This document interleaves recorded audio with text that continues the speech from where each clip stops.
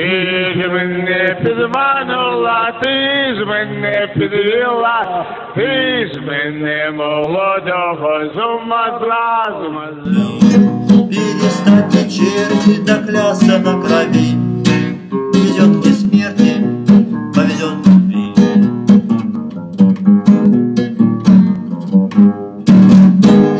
Мастерма, құрметті отандастар, здравствуйте, уважаемые соотечественники. Я сегодня хочу ответить нашему известному шалу Нурсултану Назарбаеву на тот выпад или видео, которое было вчера распространено по всем, всем средствам массовой информации Казахстана. Вообще было очень интересно. Вчера день первого президента, как бы, я его называю днем первого самозванца Казахстана. Человек, который присвоил себе должность президента, сделал себе статус, что он является елбасы, там неприкосновенный и так далее.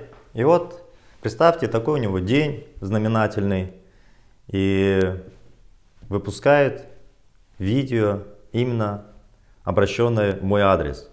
Утром вчера я выставил видео, а, которое было сделано на основе его сожаления о том, что Назарбаев вот не простит никогда никаких предателей, что он не собирается простить никого, кто предал его. И в противоречии тому, что он сказал, он здесь заявляет, что вот такой-то предатель, я бы его простил. Вот два его ответа, взаимоисключающих. Но смешно, что именно вчера я выступал и писал посты и показывал, что тот человек, которому он доверяет очень сильно, Карим Масимов, нанес ему жестокий удар, организовав по его же поручению иск против его же кошелька Булатова Тимуратова, он попал в капкан. Попал в капкан сам Нурсултан Назарбаев вместе со своим окружением. Потому что там решением английского суда арестовано огромное количество активов. Список этот у меня на руках, он есть в судебном решении. Сегодня я опубликовал названия банков, где содержатся миллиарды долларов якобы Булатова Тимуратова, но на самом деле это Нурсултан Назарбаева, потому что в этом же иске говорится, что Булатов Тимуратов держит активы в пользу Нурсултана Назарбаева. Ну, я этому не удивляюсь, что это произошло, потому что сейчас я буду цитировать слова Нурсултана Назарбаева, чтобы вы поняли, что страной длительное время руководил отсталый человек, малообразованный, с корявой, ну вообще с корявым оборотом э, слов разных, да, он не может даже нормально произнести мыслей, а, и я их процитирую, что он имел в виду. Ну, собственно, именно поэтому у нас страна такая отсталая, корявая. Все, что мы делаем, это мы поставляем сырье, нефть, металлы, газ, которым наградила щедро природа территорию Казахстана. И все, все остальное, это вы знаете, на эти богатства, которые растекаются значительная часть в карманы Нурсултана Назарбаева и его приближенных – строятся и Астана, или какие-то здания, торговые центры, базары Булата Назарбаева. И все, у нас экономики как таковой нет. Каждый раз, когда происходит падение цен на это сырье, у нас происходит обвал тенге и так далее. Вот, собственно, такую экономику мы получили его в наследство Советского Союза, вот эту часть сырьевую, и она эксплуатируется, и у страны нет ничего. Если посмотреть этот фильм, он вообще, честно говоря, очень забавный, смешной. А, я как раз вчера говорил, что Нурсултан Назарбаев это национальный предатель, предатель нашей страны, предатель народа.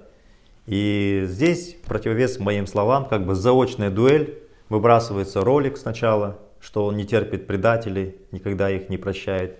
А затем, когда я вчера провел приблизительно в это время прямой эфир, Называя его именно национальным предателем, через несколько минут появляется это видео, в котором он меня называет предателем, предателем страны. Ну, собственно, и в иске, который подал БТА банк, а именно Карим Асимов, манипулируя зятем Имангали Тасмагамбетова, Кенисом Ракишевым, там так и описывается, но только Назарбаев себе присваивает роль народа. Там написано, что Мухтар Аблязов уже более 10 лет является врагом номер один народа Казахстана. Но давайте мы сейчас поймем, что такое народ Казахстана в понимании Нурсултана Назарбаева. Так вот он, первую фразу, которая произносится Нурсултаном Назарбаев, он говорит, что ну вот беглецы некоторые бегут из страны, я бы их простил. Они украли, убежали, я бы их простил, пусть бы они на кон вернули бы деньги, и тогда бы я их простил, пусть бы они покаялись. Слышите, это оборот бандита. То есть он бы простил не суд Казахстана, не система, которая у нас существует, прокуратура, не следствие, а Нурсултан Назарбаев. Он и посадил в тюрьму, он и простил, законов не существует, вообще не существует ничего, только Нурсултан Назарбаев все время говорит, я бы простил, я бы сделал это, я подписал прошение о помиловании и так далее, и так далее. Вот, и давайте мы пройдемся по его фразам. Кстати говоря, он говорит, что я сделал обращение, я бы простил, но никто не, откли... не откликнулся. А кто может поверить этому бандиту, этому лживому бандиту, который 30 лет обманывал страну, говорил, что у нас будет крутая страна, и в итоге крутые, кру, крутые стали только сам Назарбаев и его родственники, которые присвоили гигантские активы, миллиарды, десятки миллиардов долларов. Ну давайте мы пройдемся по всем его фразам. Ну, следующее. Назарбаев говорит, он, Назарбаев, молодого назначил министром. То есть меня назначил, понятно, не парламент, не кто-то, а Нурсултан Назарбаев. Ну, в связи с тем, что сейчас целое поколение молодежи выросло, они не знают ни историю, ну, собственно, и самого Назарбаева они представляют только как полубога, которому, которого, которого все время представляли в школе, как вот отца нации. Мы сейчас видим, как маленьких детей заставляют учить стихи, петь песни, посвященные Султану Назарбаеву, и они другого не знают. Поэтому они должны знать правду, знать правду от тех, кто знает лично Султан Назарбаев, участвовал в строительстве нового государства, плодами которыми пользуется это в большей степени политическая верхушка страны. Итак, он говорит, что назначил меня молодого министра, и я проворовался. Я хочу сказать следующее. В 1997 году, в июне, я был назначен руководителем энергосистемы страны. При этом меня несколько месяцев минимум до этого уговаривали, а до этого год мне вообще говорили, не приходи в правительство, если ты не пойдешь работать в правительство. Когда мне был 31 год, даже назначили министром, но я на следующий день отказался, потому что я не мог в тот момент работать в правительстве, потому что у меня был, была компания, бизнес, я отказался. Так вот, в 97 году летом я был назначен руководителем энергосистемы в ситуации, когда в стране, было, в стране был жесточайший кризис, когда останавливались промышленные предприятия, в Шимкенте люди, наверное, хорошо помнят, когда не было газа, не было электричества, и в зимнее время вы выносили казаны на улицу и готовили прямо на улице в многоэтажных домах. Кентау тогда мерз, и в сутки подавали электроэнергию на 2-3 часа. Я думаю, многие из вас помнят этот период, 97 год.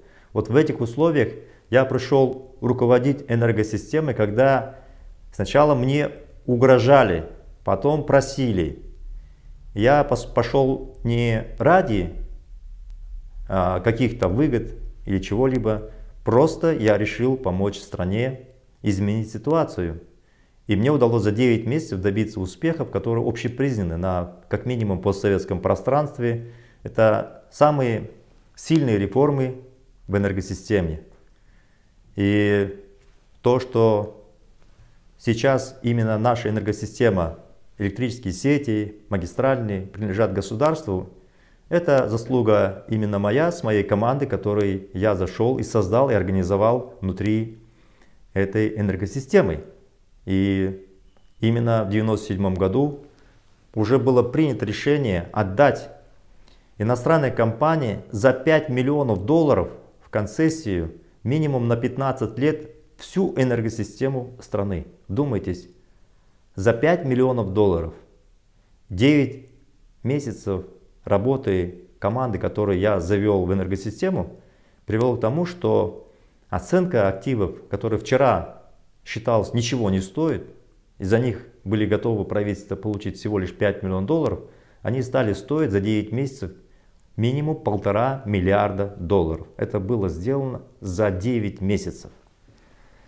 И далее, когда удалось вообще стабилизировать всю энергосистему страны, построить рыночные реформы, наладить мощнейшую систему управления, я был приглашен работать министром энергетики.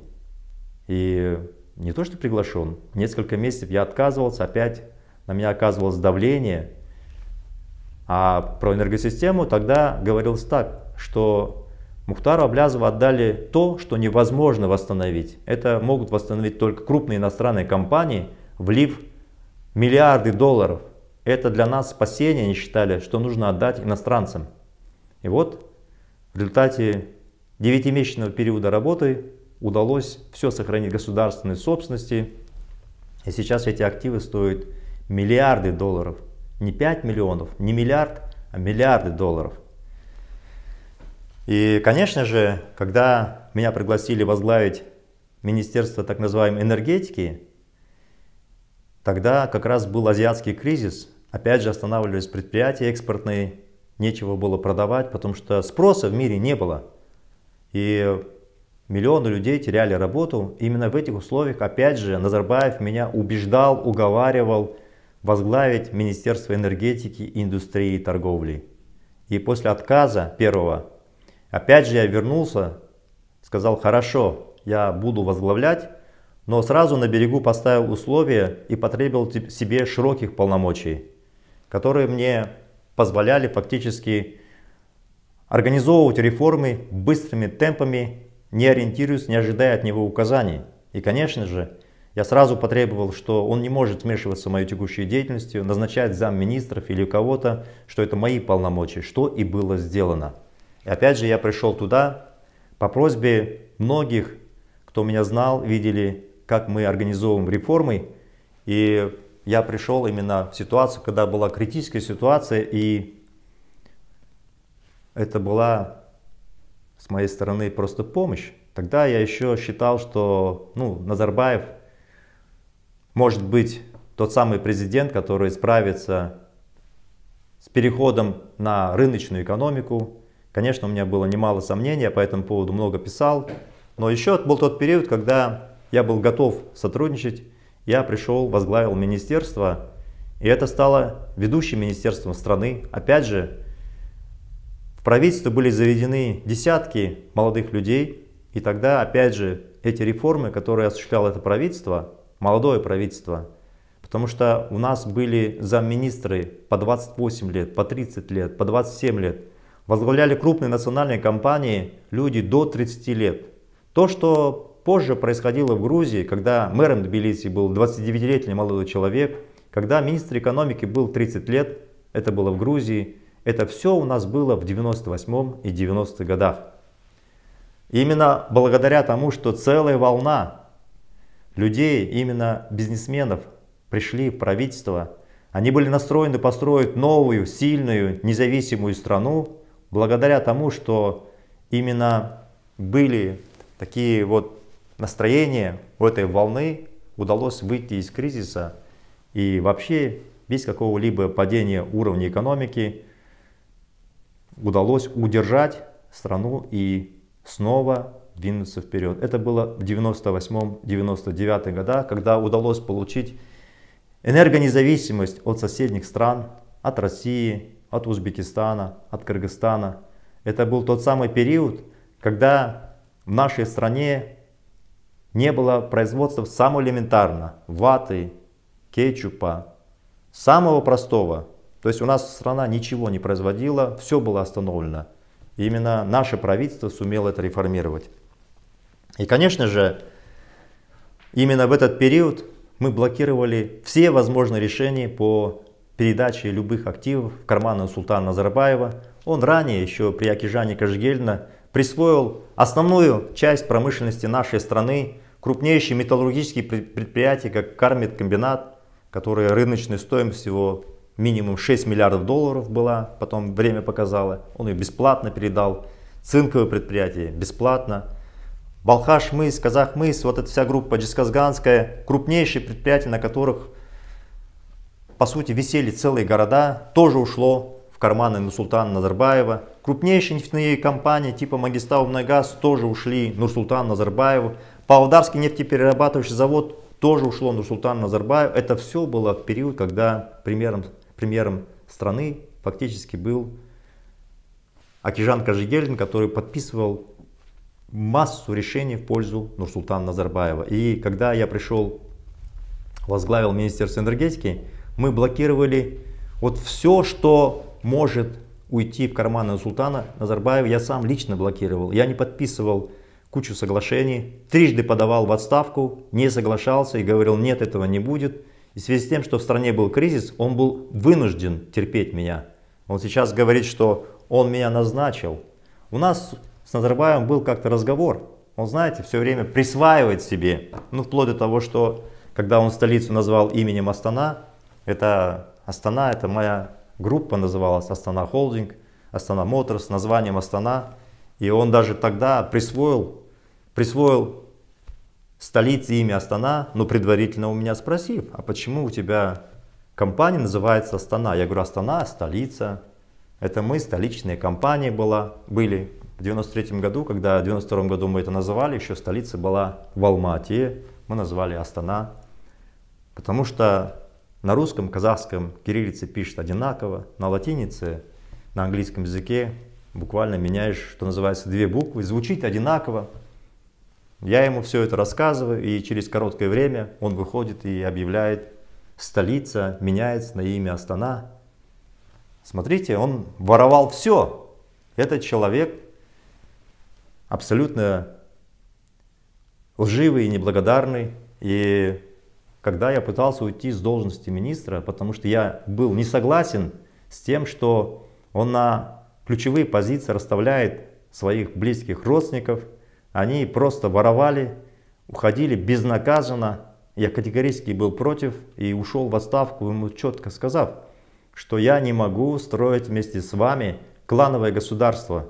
Клановое государство, которое контролирует родственники Нусултана Назарбаева. Я не вижу будущее у такой страны. Именно у меня в 99 году, в октябре, состоялся такой разговор, когда он меня убеждал, уговаривал остаться, я сказал нет. Вот с этого момента началась у нас история конфликта. И когда он говорит, что якобы я проворовался, я хочу сказать следующее. В ноябре 2001 года мы объявили о создании движения «Демократический выбор Казахстана». И против меня через полгода были возбуждены уголовные дела в 2002 году. И придумали обвинение четырехлетней давности, включая том, что, э, одно из обвинений, что я пользовался сотовым телефоном государственной компании Кигок и наговорил по нему на несколько тысяч долларов. Вот такого рода были обвинения. И другие были обвинения, они все были смешные. И когда он говорит проворался, а что же тогда, когда я был министром, мне не предъявляли никакие обвинения, а стали придумывать эти обвинения тогда, когда я объявил вместе со своими товарищами о создании движения «Демократический выбор Казахстана». Поэтому это лживое утверждение Нурсултана Назарбаева. Более того, в январе 2002 года, когда мы провели митинг в Алматы, вышло на улице где-то около 8 тысяч человек, он был насмерть перепуганный. Он был перепуганный, он мне звонил, и были свидетели этого разговора, Хайрат Келимбетов – а, это у него в кабинете был, он был замминистра финансов. И он слышал, как Назарбаев меня умолял, упрашивал и говорил, остановись, ты что делаешь, ты что, хочешь гражданскую войну? Он был напуган. И вследствие этого я с ним встретился у него а, в резиденции в Астане. И свидетелем был тот самый Булат Назарбаев, извините, Булат Утимратов, который сейчас находится, судя по всему, под домашним арестом. Он был ближайший помощник.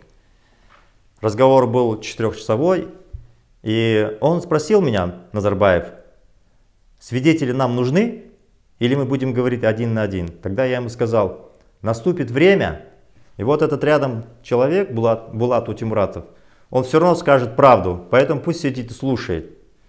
И разговор с угроз Назарбаева начался, когда он требовал, чтобы я ушел, не организовывал оппозицию, не боролся, не перестраивал политическую систему. И 4 часа были непрерывные угрозы. И в какой-то момент он мне сказал, что я тебя сделал, я тебе помог, как вчера это прозвучало в эфире. Я у него спросил, а у нас в стране миллионы бедных. Кто сделал их жизнь такой несчастной и бедной? Ну, Султан Назарбаев, он же берет на себя ответственность, говорит, я тебе сделал. То есть он всех породил, сделал. Он говорит, нет. Я говорю, может быть, вы мне образование дали? Я учился, может быть, потому что вы меня финансировали, а не мои родители. Может быть, это вы жили в общежитии, а не я а я жил во дворцах. Может быть, вы меня сделали бизнес, какой-то один маленький заводик подарили? Или вы меня выдавливали везде, а ваш зять нападал, захватывал мой бизнес, сажал людей моих в тюрьму, в тюрьму с которой, которые со мной работали? Это кто делал? Я или ваш зять по вашему приказу? Или когда я пришел возглавить энергосистему, кто меня упрашивал чтобы я туда пришел и реформировал энергосистему? Не вы ли говорили, как ты сумел это сделать? Объясни мне. Удивлялись, что это вообще можно сделать за короткий срок. Что вы мне сделали, чем помогли, кроме того, что отбирали мой бизнес? Булат Утимуратов был свидетелем, он слышал, он сидел рядом, был напуган, потому что у нас разговор был такой лобовой, очень резкий. Поэтому, если что-то я в жизни добился, я добился вопреки вам. А работал я не на вас, а на страну. Если вы хотите чего-либо изменить, то делайте, не пытайтесь меня запугать, что посадят в тюрьму, отберете и так далее.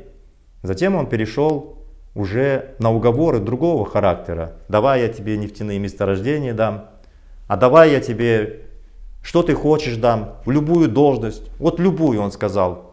Ну, говоря, хочешь премьером стань, хочешь руководителем администрации президента, предложил мне возглавить штаб по выбору президентов. Я от всего отказался. Это был разговор в январе 2002 года. И через два месяца он посадил меня в тюрьму, потому что я для себя решил, что с этим режимом мне не по пути. И когда он рассказывает, что потом якобы меня посадил в тюрьму, меня посадили в тюрьму именно за мою политическую деятельность.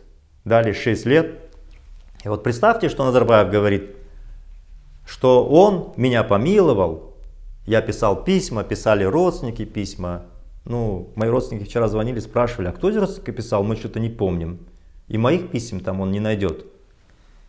И он говорит, что я его простил и воспользовался, что он президент страны, помиловал, а ведь могли ему и больше дать. То есть представьте, да, это не суд, не кто-либо, да, не обвинение, а Назарбаев мог дать больше. Да, когда я сидел в тюрьме, ко мне приходили, говорили, что я должен отказаться от политической деятельности, пообещали конфисковать весь бизнес, что и сделали. И многое, большая часть этого бизнеса перешла к Назарбаеву и к Утимуратову в том числе. Они собственники значительной части бизнеса с названием Астана, вот которым владеет Нурлан Смогулов. И масса другого бизнеса они просто разграбили. Так вот, Теперь, если он говорит о помиловании, эта часть многих интересует, хотя я давал множество интервью, я хочу сказать, что нахождение в, тюрьму, в тюрьме, я готовил там побег из этой тюрьмы, я для себя решил, что я буду бороться с режимом. Именно тогда, в тюрьме, когда я сидел на голодовке, я решил, что это мой единственный путь.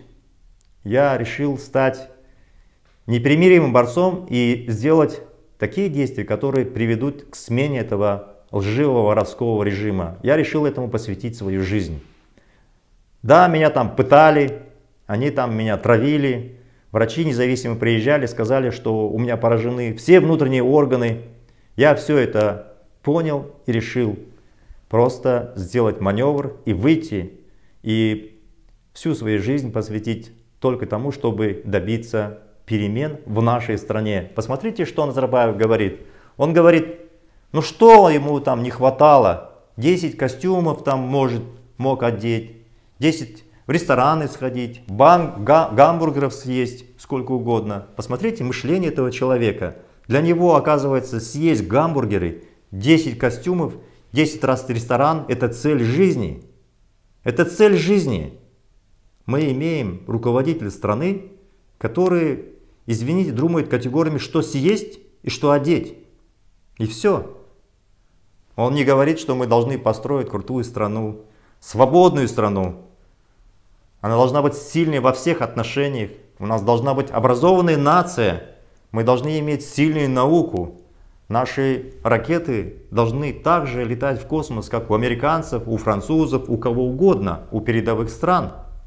Мы должны построить процветающую страну, он не об этом говорит, он говорит о гамбургерах, он говорит о каких-то 10 костюмах, о каких-то ресторанах. Вот оказывается цель жизни того самого президента, который контролировал страну и контролирует более 30 лет. Вы понимаете, почему в нашей стране так все плохо? Вы понимаете, что нашей страной руководит вообще человек отсталый? Смотрите, какая фраза. Откройте, послушайте имел какой-то, я имел какой-то что-то в стране, как он сказал, имел какой-то что-то. Он даже не может высказать свою мысль четко. Это был президент нашей страны. И вот мы имеем то, что имеем. 10 пиджаков, гамбургеры, кингбургер, который сейчас владеет Булат Тимуратов, это вот Назарбаевское предприятие, поэтому слово гамбургеры выучил. Вот такая отсталая страна. И вот я в этой тюрьме окончательно понял, что нам не по пути с этим режимом, никаких компромиссов не может быть. Я вышел из тюрьмы и обратите внимание, я уехал жить в Москву. Мне не давали заниматься бизнесом в Казахстане, я уехал в 2003 году в Москву. А что он говорит, Назарбаев? Опять врет. Он говорит, он вышел из тюрьмы, писал уговорил его, и он вернул меня в банк. Чей банк? БТА банк это был мой банк, я его купил на аукционе, я его развивал, сформировал разные команды, и он говорит, я вернул его в банк. Видите, как он воспринимает? Что оказывается, это его банк, это не мой банк, который я купил и выстраивал. Оказывается, это Нусултан Назарбаев решает, когда я в английском суде это рассказывал, он не мог понять, как это вообще возможно. Он акционер, он председатель директоров банка, как он может вас назначить? Ну вот он сегодня, точнее вчера проговорился, я его назначил. На самом деле, опять же, я приехал и возглавил свой банк, потому что мой партнер младший, Ержан Тачев, погиб на охоте в 2004 году. А в феврале 2005 года Назарбаев уговаривал меня приехать в Казахстан для переговоров. Я это принял трудное решение, потому что мой приезд мог просто привести к аресту.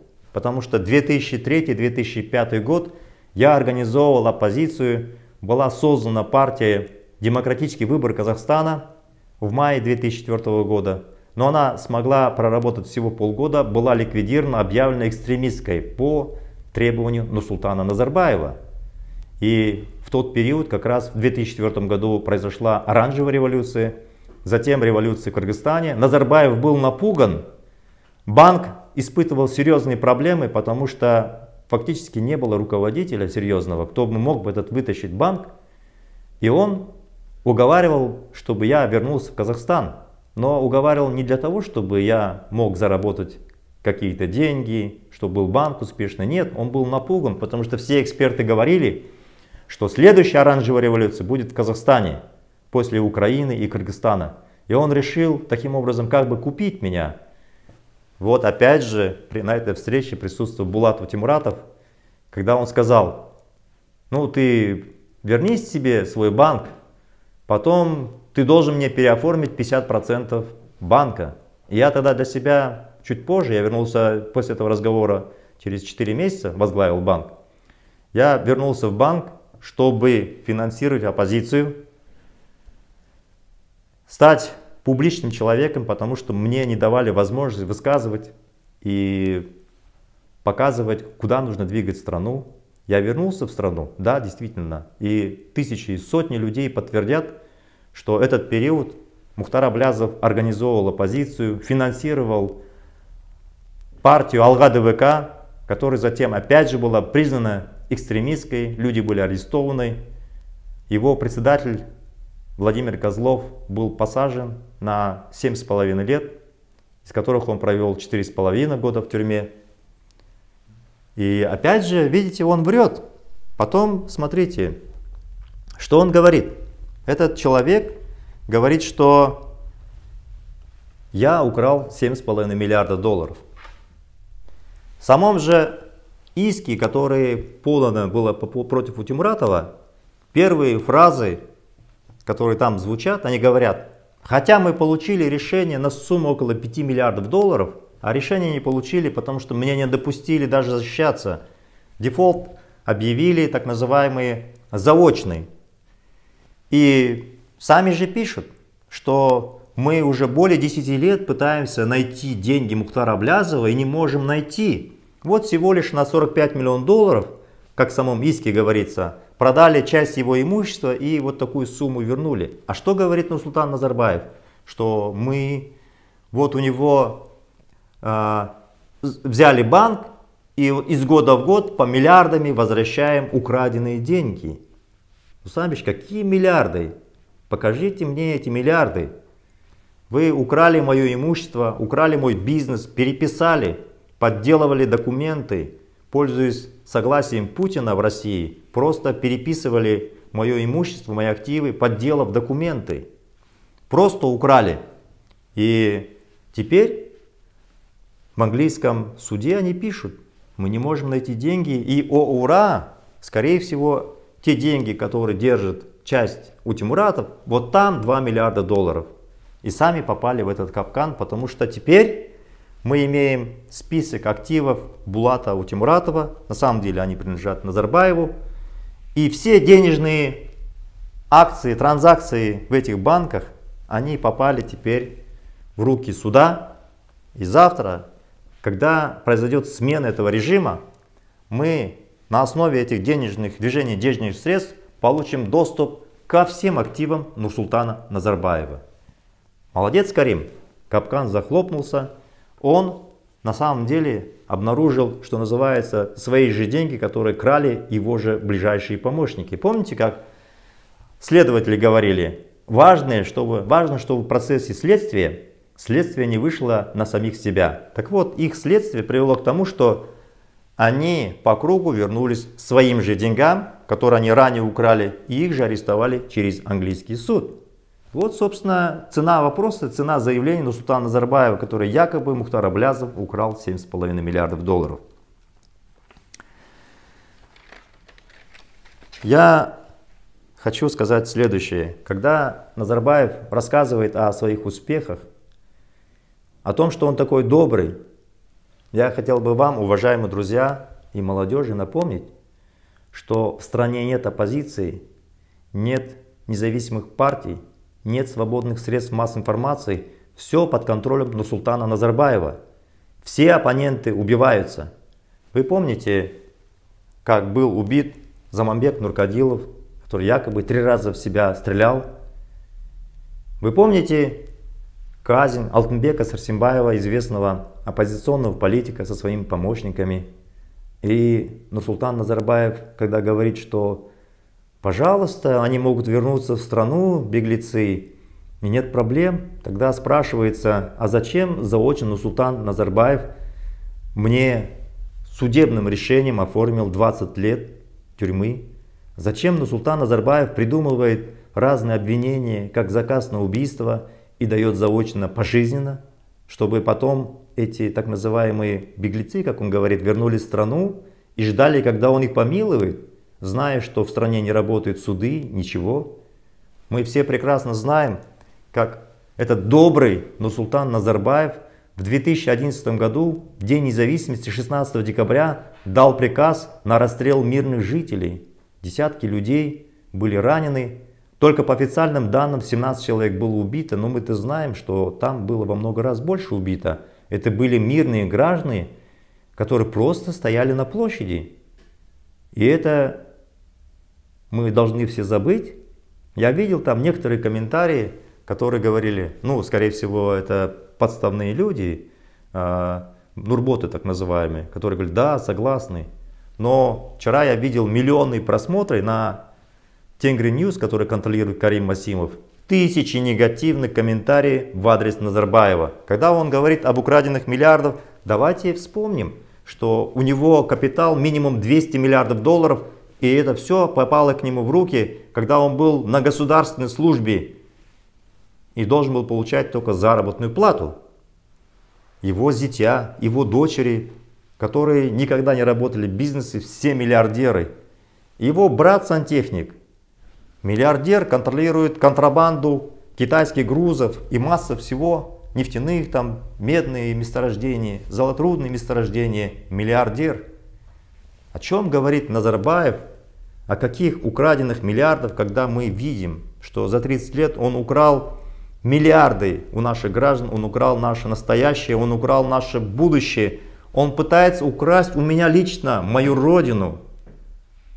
Он пытается это сделать, но у него это не получится, потому что я всю свою жизнь посвятил, фактически последние минимум 20 лет, борьбе против режима. Я сейчас вижу, результаты своего труда я вижу, я вижу, что сознание людей изменилось.